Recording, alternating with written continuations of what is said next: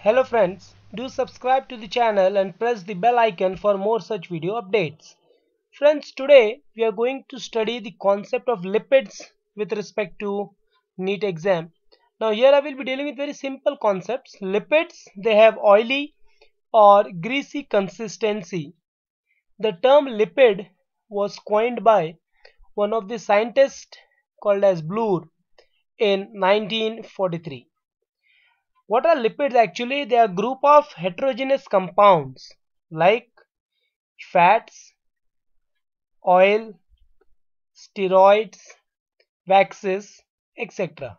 Whenever we talk about fats, we need to understand that fats are found in both plants as well as in animals. The lipids in plants are liquid whereas the lipids or the fats in animals they are solid. When we talk about waxes, they are produced by both plants as well as the animals. Lipids, they are insoluble in water, but they are soluble in organic solvent or nonpolar solvent like benzene, chloroform, etc. Now we need to understand as carbohydrate has one unit made up of carbon, hydrogen and oxygen. In the same way lipids are also made up of carbon, hydrogen and oxygen but hydrogen and oxygen ratio is not 2 is to 1. It is more than 2 is to 1. It means it has less oxygen and more hydrogen. Compound lipids they have nitrogen, sulfur and phosphorus also along with CH and O. Lipids is different than carbohydrate or protein because Carbohydrates and proteins they have single unit monomer but in case of lipids they have two subunits means they are made up of fatty acid and long chain alcohol that is glycerol.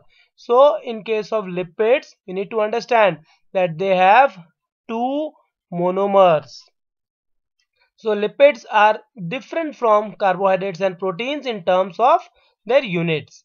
Now whenever we try to classify lipids, lipids are classified as simple lipids, compound lipid and derived lipids.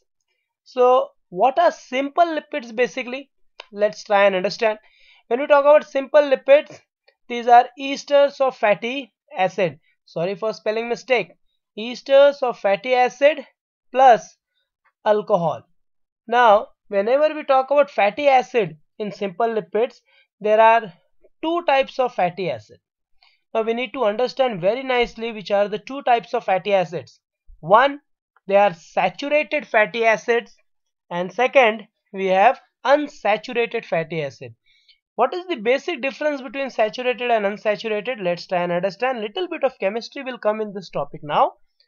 Uh, saturated ones do not have double bond between the carbon atoms. Whereas the unsaturated ones they do have double bond between carbon atom.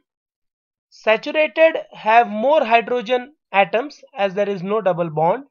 Whereas the unsaturated they will be having less hydrogen atom due to double bond.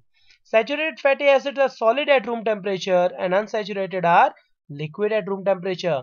Example of saturated fatty acid is palmitic acid and stearic acid when i talk about unsaturated fatty acid it is oleic acid linoleic acid and linolenic acid. When I talk about compound lipids, we need to understand it is made up of fatty acid plus alcohol. But along with these two components, they also have nitrogen, phosphorus, sulfur on proteins. When we talk about derived lipids, they are hydrolytic products of simple lipids like steroids, waxes and carotenoids. Whenever we talk about examples of compound lipids, let's understand one example that is phospholipids. Now when I say phospholipid, it simply means it has phosphate group along with the lipid. Glycolipid is having glyco group with lipid. When we talk about phospholipid, we need to understand that is also lecithin which forms the structure of cell membrane. when we talk about derived lipids it includes steroids waxes and carotenoids so what are steroids basically steroids they have carbon atom arranged in the form of four interlocking rings. It means there will be four rings and all links, rings are linked to each other. Steroids are biologically important. Basically the steroids are forming one of the sex hormones like testosterone estrogen. Cholesterol bile salt male and female sex hormones all are steroids. When we talk about steroids it are four ring basically the structure is just representing four ring which are interconnected to each other. So it's ring number one two three and four. When i talk about derived lipids listen very carefully. They are esters of saturated fatty acid plus alcohol. But here now the long chain alcohol is not glycerol. Any alcohol other than glycerol plus ketone. So when we mix these three things it becomes derived lipids waxes secreted by epidermals.